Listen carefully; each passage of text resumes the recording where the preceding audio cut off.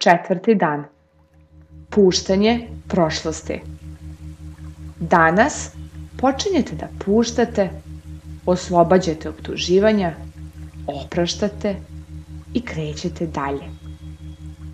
Kako je bilo juče? Osjećate li da polako učite da puštate boli iz prošlosti i da podešavate svoj samogovor na pozitivni kanal? Veoma se ponosim vama što dovoljno volite sebe da svakodnevno radite ove zadatke i koristite rad pred ogledalom za reprogramiranje svih starih traka koje ste puštali u glavi. Još od malena svaka poruka koju smo primili, sve što smo rekli, uradili, sve što smo doživjeli snimljeno i uskladišteno u kartoteci u našem jezgru, u našoj srži, našem solarnom pleksusu. Volim da zamišljam da tamo postoje mali glasnici i da su sve naše misli i iskustva zabeležene na trakama koje ti glasnici stavljaju u odgovarajuća akta. Mnogi od nas su gomilali akta sa nalepnicom poput Nisam dovoljno dobar, dobra. Nikada neću uspjeti. Ništa ne radim kako treba. Zatrpani smo ispod gomila starih negativnih traka. Danas ćemo iznenaditi male glasnike. Obavit ćemo rad pred ogledalom i poslati nove poruke u svoju srž. Voljen, voljna sam da pustim. Oslobađam optuživanja. Spreman, spremna sam da oprostim. Glasnici će pokupiti te nove poruke i reći šta je ovo? Gde ovo da stavimo? Nikada do sada nismo vidjeli ništa slično. Možete li da zamislite koliko bi bilo divno kada biste svakog dana naučili novi način puštanja prošlosti i ostvarivanja harmonije u svom životu. Moji i drage moje, već ste to započeli svakodnevnim radom pred ogledalom. Svakodnevno raščišćavate slojeve, blokove prošlosti. Svaki put kada izgovorite izjavu pred ogledalom, uklanjajte još jedan sloj. Kakvi su to slojevi prošlosti koji vas prečavaju da živite srećno i ispunjeno? Kakvi su to blokovi prošlosti koji vas prečavaju da oprostite sebi i vlastitoj prošlosti? Mislim da se mučimo da prepoznamo te blokove jer stvarno ne znamo šta to želimo da oslobodimo. Znamo šta ne funkcioniše u našem životu i znamo šta želimo da imamo u životu, ali ne znamo šta nas u tome sprečava. Sve u vašem životu odslikava ono što ste vi. Isto kao što ogledalo, odražava vaš lik, vaše iskustva odražavaju unutrašnje verovanja. Možete se bukvalno zagledati u svoje iskustva i utvrditi koja su to vaša verovanja.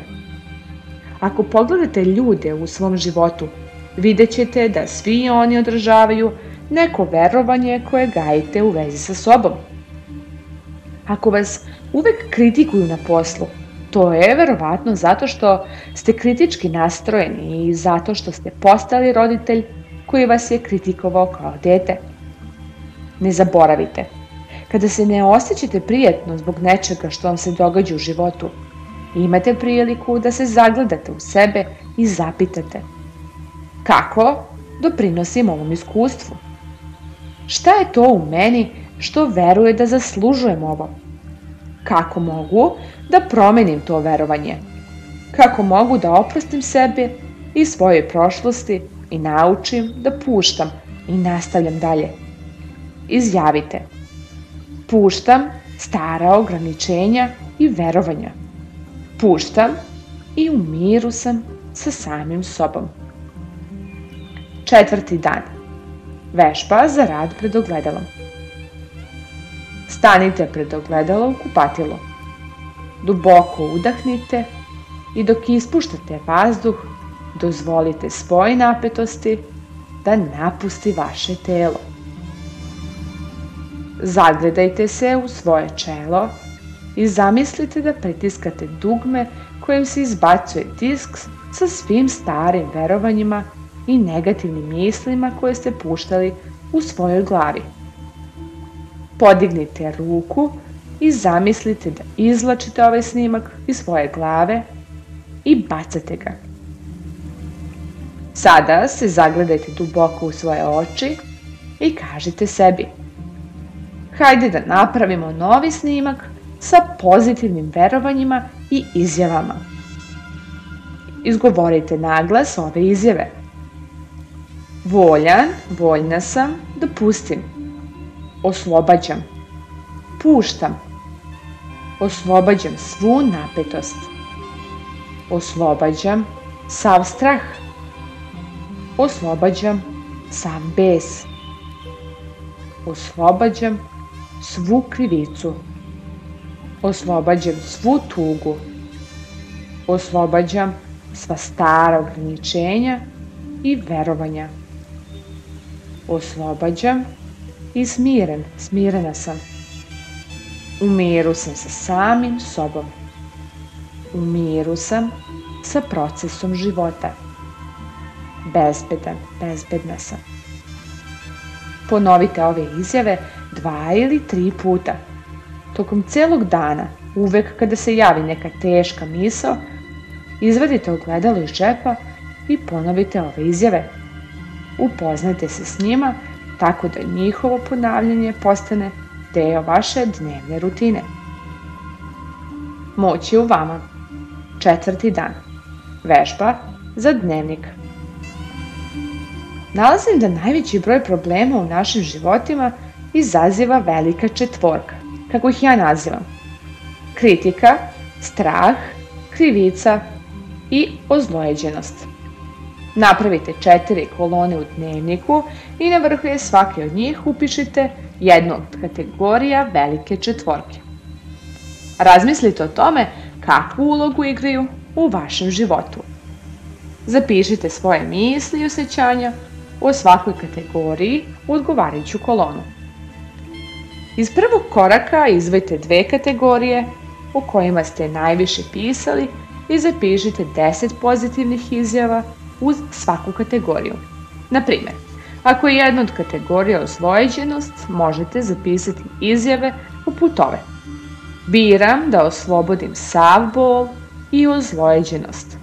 Što više ozlojeđenosti oslobodim, to ću imati više ljubavi da dam. Sve u našim životima je ogledalo onoga što jesmo. Zamislite o ljudima u svom životu koji su najizazovniji za vas. Koje su to osobine koje vas kod njih najviše brinu? Zapišite ih. Pogledajte osobine koje ste naveli u trećem koraku. Zapišite kako svaka od ovih osobina odslikava verovanje koje imate o sebi. Možda ćete takođe poželiti da zapišete šta ste naučili o sebi tokom današnjih vežbi. Misli srca za četvrti dan. Mogu da pustim. Stvaramo navike i ustrojstva jer su nam oni na neki način korisni. Zapanjuje koliko bolesti stvaramo zato što želimo da kaznimo roditelje. Možda to ne radimo svesno, zapravo. U većini slučajeva to nije svesno. Ali kada se zagledamo u sebe, nalazimo ustrojstvo. Često stvaramo negativnost jer ne znamo kako da izađemo na kraj sa nekom oblasti života. Ako je to slučaj, zapitajte se, zbog čega mi je žao? Na koga sam ljut, ljuta? Šta pokušavam da izbegnem? Kako mislim da će me to spasiti? Ako niste spremni nešto da pustite, vi zaista želite da se držite toga zato što vam koristi, ma šta radili. Nećete biti u stanju da pustite. Međutim, kada ste spremni nešto da pustite, zapanjuje lakoća sa kojom to obavljate. Četvrti dan. Meditacija. Nova decenija. Zamislite kako se otvaraju nova vrata u deceniju velikog isceljenja. Isceljenja koje nismo razumeli u prošlosti. Trenutno smo u procesu učenja o svim neverovatnim sposobnostima koje imamo u sebi. Učimo da stupimo u vezu sa tim delovima nas koji imaju odgovore i koji postoje da bi nas vodili i usmeravali u pravcima koji su za naše najveće dobro. Zamislite kako se ta nova vrata širom otvaraju i zamislite kako prolazite kroz njih i nalazite isceljenje u mnogim različitim oblicima. Jer isceljenje ima različita značenja za različite ljude. Nekim od nas potrebno je isceliti telo, nekima srce, nekima um. Tako smo otvoreni i prijemčivi za isceljenje koje je svakome potrebno.